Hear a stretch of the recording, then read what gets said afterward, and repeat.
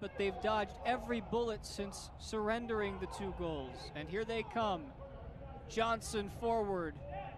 Safe for Butler. It took a deflection off of Barrera, and somehow it goes in! What a turn of events!